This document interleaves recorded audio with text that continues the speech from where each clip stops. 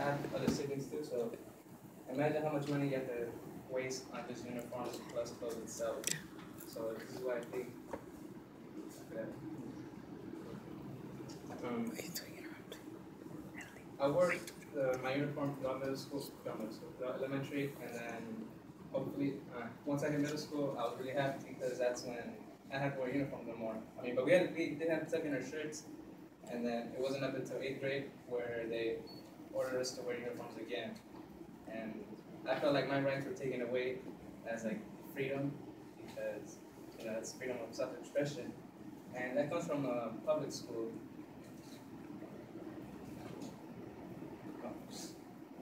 So first, I'll I'll be talking about the what what the benefits are for wearing a uniform, even though we really don't want, want to, but something important I have to say. I have to guys. Secondly, I will be talking about the financial issues that it causes families. And last, lastly, I'll be talking about the, how it violates our First Amendment and our self-expression to whatever we want. So, you, suppose, okay, according, uniforms are supposed to help raise grades up, you know, they're supposed to look professional among, among, amongst kids.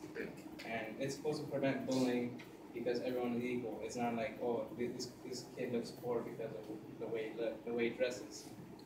Um, that's not the case. It's just, you know, you know, and generally, supposedly, um, the uniforms are supposed to be cheaper, but that's not in all cases because I, I came from a lower income family and others, you know, other families can't afford it.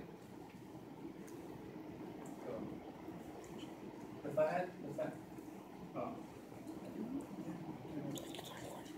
The benefits is, is a quote from, from Toby Pike, the, in uniform, the elders found that the percentage of students who made the honor roll middle school jumped from thirty-one percent to over forty-two percent. That talks about the, um, the education level that rises. And then the uniforms also help level playing, playing the field for students from the so- socioeconomic status, those of lesser means don't feel as contentious in their so, so for the latest fashion that in turn encourages students to judge one another more by character than by logos. So that's by the uh, the bullying part. And then the last part was that in 1999, the NPD group conducted a consumer study to determine the cost of school uniform programs. It discovered that families whose children uniform schools an average of 85 less dollars or more year on students, but that's complete lie. That's only like if you buy what we want uniform. What you have some some families don't have a washer and dryer, so you have to buy like a week's worth of clothes you know, to make it through the week. Now to move on to the financial issue of why it's not really cheaper, because I, I came from a lower income family and it didn't really help um, having to buy uniforms. This was the problem for parents comes down to the cost of uniform and faces the effort of procuring them. And this comes from Lisa, um, Lisa Green, I don't know how to say her name, but she's a teacher and a mother that she sees the benefits of, of the of the uniforms, how actually, you know, raise the grades. But then again, she comes from, you know, not having much money and having to having to pay for these uniforms for your kids. You know, it's quite pricey. And she has friends too that um,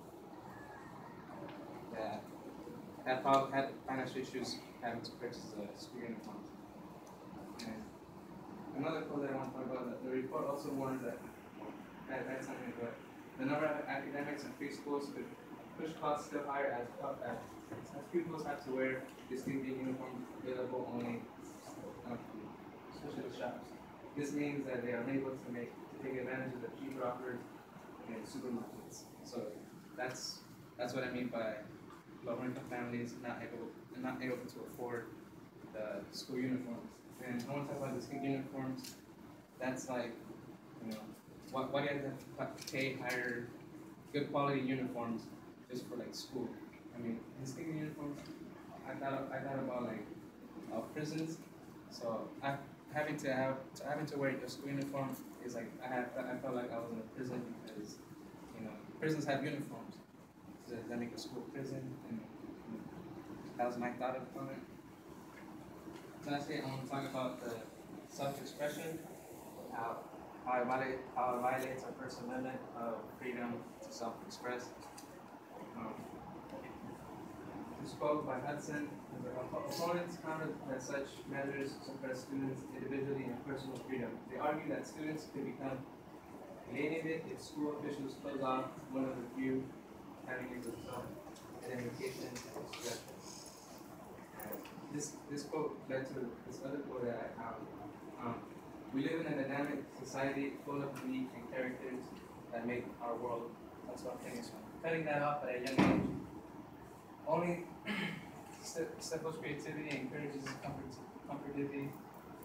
We want to encourage our children to be expressive and to think outside the box.